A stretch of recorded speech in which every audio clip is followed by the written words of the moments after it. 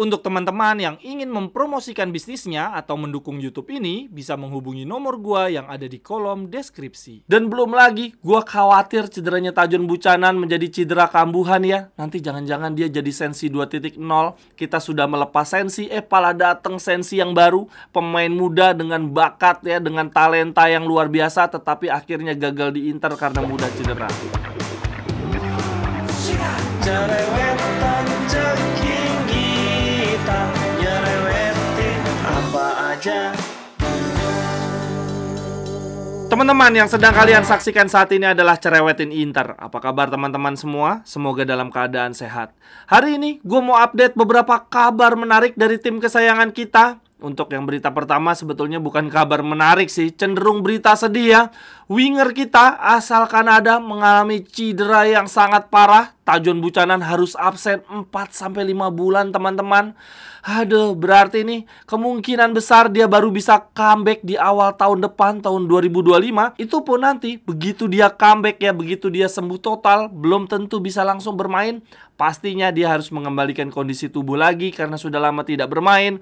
Belum lagi dia harus adaptasi ulang dengan skema Inzaghi. Ini berarti Buchanan seakan mengulangi kisah hidupnya di Inter di musim lalu ya. Datang di pertengahan musim, tidak bisa langsung bermain karena butuh adaptasi, adaptasi strategi, adaptasi budaya, bahasa dan lain-lain. Nah, di musim ini sebetulnya Buchanan punya kesempatan emas untuk memperbaiki itu semua ya. Punya kesempatan untuk ikut berlatih sejak awal musim, tetapi sayangnya dia cedera lagi dan lagi harus bergabung baru bisa bergabung di pertengahan musim. Gua rasa teman-teman cedera ini akan membuat karir Tajon Buchanan di Inter akan sangat terhambat karena pada dasarnya dia sama sekali belum menyatu dengan tim, dia belum menunjukkan tajinya ya bersama Inter. Beda ceritanya, andai saja Tajon Buchanan sebelum cedera panjang dia sudah menunjukkan tajinya, sudah nyetel di Inter atau setidaknya sudah paham cara main di Serie A, nanti begitu dia sembuh kita bisa langsung kasih dia menit bermain, bisa langsung percaya lagi ke dia.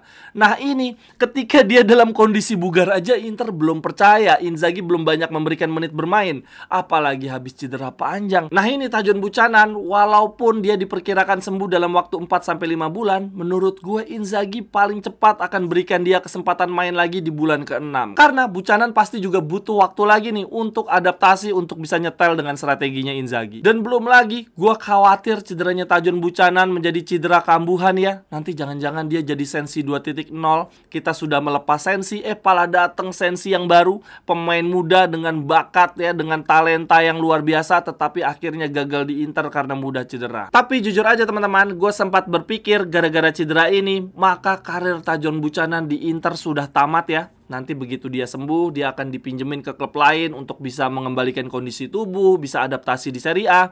Tetapi di sisi lain, Inter ternyata sudah mendapatkan wingback baru yang muda dan sudah bisa diandalkan. Ya sudah, tidak ada tempat lagi bagi Tajon Buchanan. Nah, kalau bagi Buchanan, menurut gua cedera ini adalah pukulan yang sangat telak. Tetapi bagi Inter, menurut gua bukan pukulan yang telak-telak banget. Kenapa? Karena Tajon Buchanan bukan pemain inti ya, jadi tidak akan merombak strategi Inzaghi secara signifikan.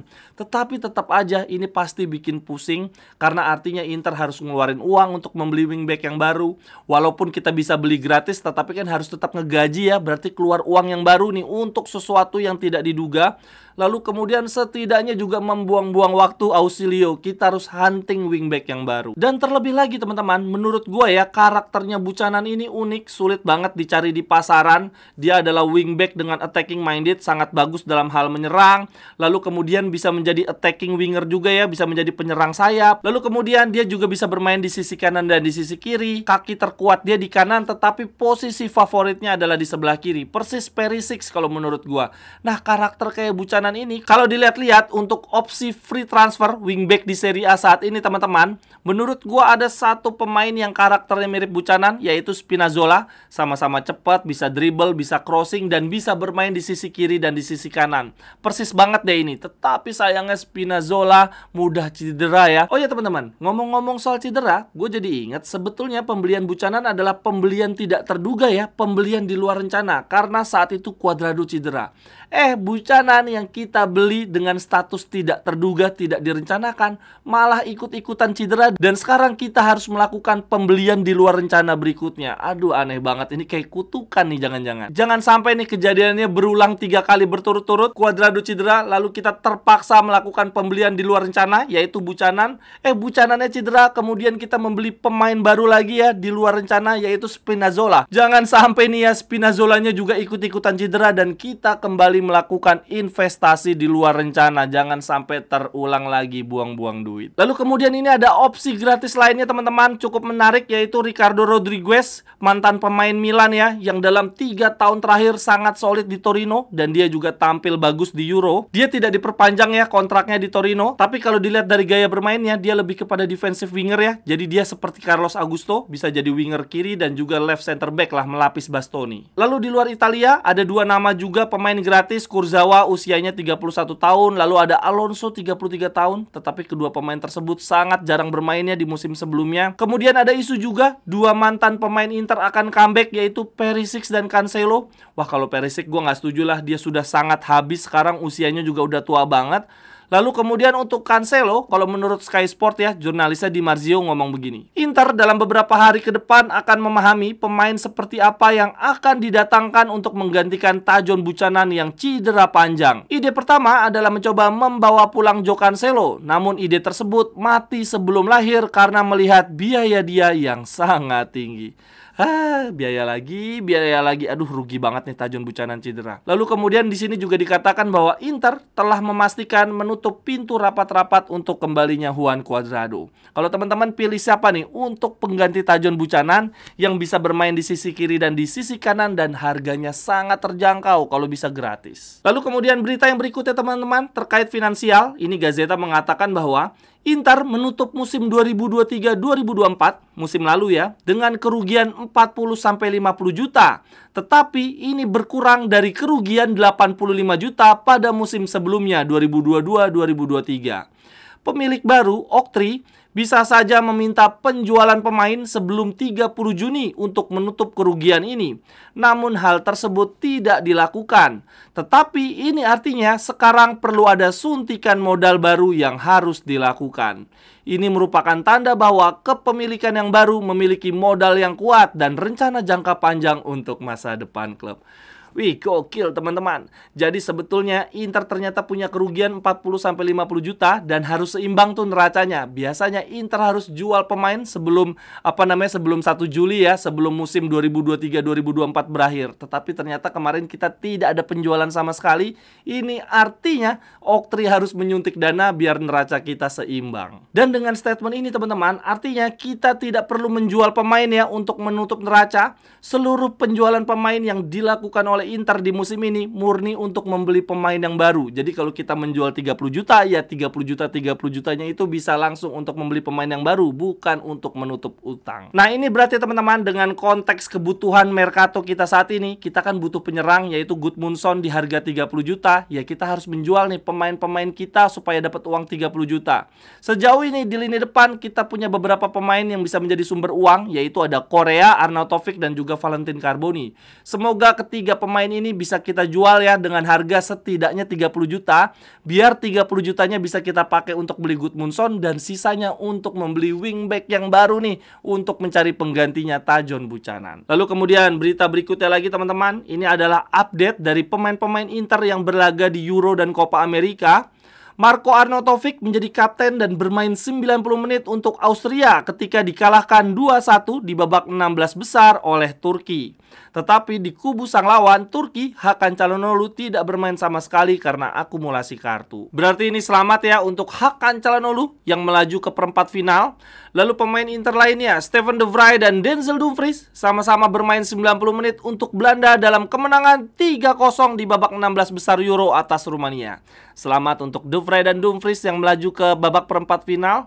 Lalu di timnas Prancis ada Marcus Thuram yang tampil 61 menit dalam kemenangan 1-0 atas Belgia di babak 16 besar. Tetapi sayangnya untuk Benjamin Pavard sampai dengan detik ini sama sekali belum bermain ya di Euro. Selamat untuk Marcus Thuram dan Benjamin Pavard yang melaju ke perempat final.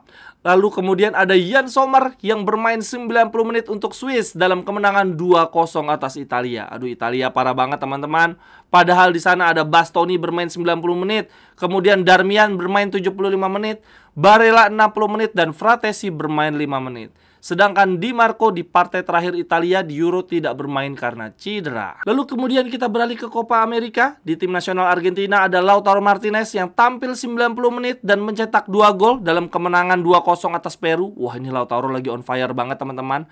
Lalu Valentin Carboni akhirnya debut bermain di Copa America selama 13 menit masuk dari bangku cadangan. Selamat kepada Lauti dan Valentin yang lolos ke perempat final Copa America. Lalu kemudian untuk Tajon Buchanan bermain bermain 14 menit sebagai pemain pengganti tetapi ya itu dia paling kasihannya ya dia cedera panjang 4 sampai 5 bulan lagi baru comeback. Teman-teman yang ingin membeli jersey atau pernak-pernik sepak bola lainnya, linknya ada di kolom deskripsi ya. Terima kasih. Lalu kemudian lanjut berita yang berikutnya lagi teman-teman. Ini dari Mercato. Wah ini adiknya Turam ya namanya Kevin Turam. Salah satu gelandang yang sebelumnya dikaitkan dengan Inter. Ternyata here we go-nya ke Juventus Juventus sangar banget musim depan teman-teman. Mereka punya Turam, lalu bisa-bisa mereka juga mendapatkan Cup Mainers. Wah, gelandang mereka akan sangat amat sangar. Nah, terkait gelandang teman-teman, setelah kita dipastikan kehilangan Kepren Turam ya, di satu sisi kita juga hampir pasti nih mengamankan gelandang asal Amerika, Tenesman. Ini Fabrizio Romano mengatakan bahwa Inter hampir mencapai kesepakatan untuk merekrut Tanner Tesman dari Venezia. Gaetano Oristanio akan bergabung dengan Venezia dan Tenesman akan bergabung dengan Inter pada musim depan yaitu 2025 karena sang gelandang asal Amerika ini akan bermain untuk Venezia dengan status pinjaman untuk satu tahun ke depan. Lalu ada Nicola Sierra juga, jurnalis Calcio, dia bilang bahwa Inter berada di posisi terdepan untuk mengontrak Tanner Tesman dengan kontrak hingga 2029 dengan gaji 1 juta per tahun. Wah murah banget. Gelandang asal Amerika ini akan tetap dipinjamkan ke Venezia selama musim ini 2024-2025. Pertemuan di pekan ini diperkirakan untuk mencapai kesepakatan. Lalu kemudian berita terakhir untuk cerewetin Inter hari ini datang dari tim Primavera. Andrea Zanzeta sudah resmi menjadi manajer baru Inter Primavera setelah dipromosikan dari tim U18. Di musim ini tim Primavera Serie A adalah pemain-pemain U20 berbeda dengan musim sebelumnya yang merupakan pemain U19. Sekian dulu untuk cerewetin Inter hari ini teman-teman. Silahkan tuliskan pendapat teman-teman di kolom komentar. Sampai ketemu di cerewetan-cerewetan berikutnya. Bye-bye.